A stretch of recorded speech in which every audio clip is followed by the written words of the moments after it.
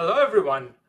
Welcome to AI 360, our podcast series giving you a 360 degree view of emerging AI topics in 360 seconds. My name is Soumyadeep, and today we are joined by Jason, who will be talking about emerging use cases of generative AI in the media and entertainment industry. Welcome, Jason. Thank you, Soumyadeep. I really appreciate you inviting me to uh, to talk about this. I'm very excited. Jason, would you please start by introducing yourself and sharing your experience with generative AI? Yeah, happy to. So, uh, Jason Williamson, Managing Director in our Media Solutions and Engineering practice. And uh, across my 20 plus year career, I've really sat at the intersection of media and emerging technology. So, the early challenges, for example, I tackled was the digitization of physical media, cataloging of that media, and really the management of the vast, vast amounts of metadata and content that our clients uh, uh, uh, generate and monetize. So really landed in the AI realm fairly early, around 2010, focusing on big data analytics, and then of course wandering into forms of perception AI and other uh, forms of AI that directly apply to language, to uh, images, and to video. Fantastic. Could you speak to some of the Gen AI trends that you're seeing in the media and entertainment in- industry, and what types of use cases are leaders most excited about? Yeah, yeah, happy to. So, uh, first of all, the elephant in the room is really the uh, AI ambivalence uh, in media and entertainment. So, uh, on the one hand, it, it, it's an amazing accelerator for uh, for for for content, uh, media, and really the creative processes. so, for the first time, we're seeing systems that can create net new content elements within the creative process. Um, however, there's legitimate concern that these tools could displace creators and artists.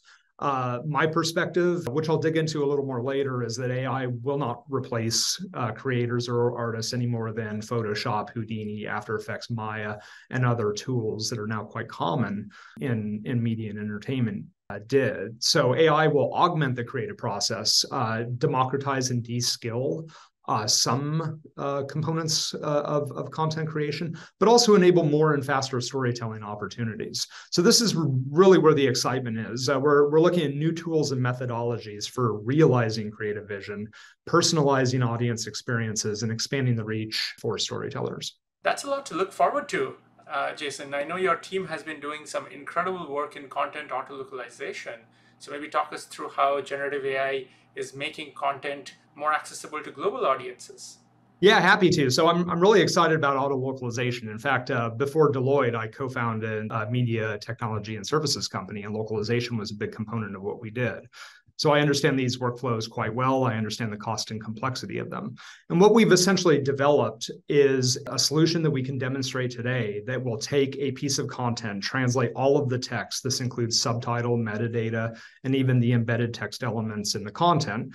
It'll translate spoken dialogue. So the talent, uh, it will translate the language, say, from French to Portuguese or Mandarin uh, clone the actor's voice, and we can even deep fake their lips to match the new dialogue. Uh, we can generate with generative AI new music to replace music if the uh, music originally uh, uh, uh, in the content if if is rights restricted to the target territory. And finally, we do standards and practice and ratings parity. So we have uh, a solution that will watch the content and identify objectionable material based on the target distribution territory. It'll tag it. It will also isolate the content and even remove it or replace it if necessary. So these are uh, solutions that we have working today. We're showing them to clients and generating an awful lot of excitement. Fantastic work coming from our media solutions and engineering practice. Uh, tell us a little more about how some of our clients have been ex- extracting value from these solutions. Yeah, so the, the client value, so localization, there's a, a about $50 billion of spend, spend around localization processes, uh, long process, anywhere from you know roughly 10 to 90 days uh, per target territory. So the opportunity is really to, to, to radically reduce the, the, the, cost and the time necessary to localize a piece of content for uh, distribution to an international market.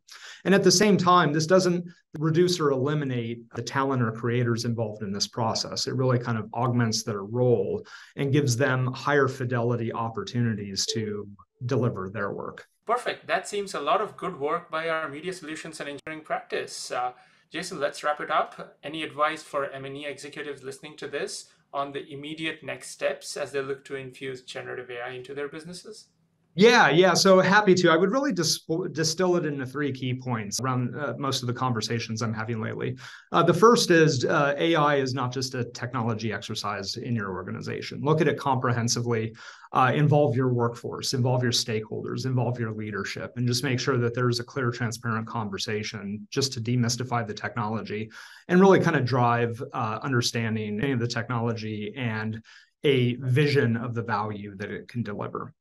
Uh, the second is around workforce. Uh, so develop your workforce, uh, help them understand that uh, a this technology uh, helps augment their capabilities, uh, the creative process.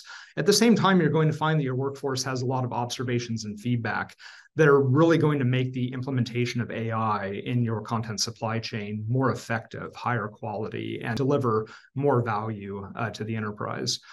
And then third, uh, understand the ROI and make sure that you're tracking that. So we do an awful lot of work looking at, uh, uh, given our use cases and speculations on how this can be deployed, what's the value to the business? And that really helps justify uh, to our clients, to their business, uh, the experimentation and implementation and engagement of these technologies. That feels like a good three-step checklist. Thank you for sharing your insights today, Jason. I look forward to having you back on a future episode. Wonderful. Thank you so much.